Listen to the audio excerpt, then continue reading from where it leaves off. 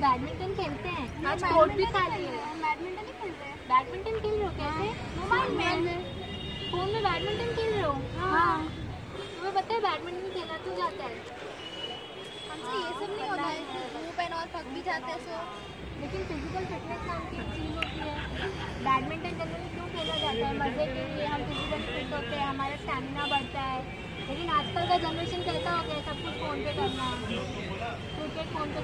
Badminton phone पे खेलना है, फुटबॉल फ़ोन पे खेलना है, पूरा दिन तुम्हें चैट करना है। तुम्हें पता है कितना तकलीफ़ होता है फ़ोन के एक्स्ट्रा यूज़ करने बहुत फ़ोन के यूज़ करने से ब्रेन को डैमेज होता है ओवरऑल बॉडी को कितनी तकलीफ़ होती है।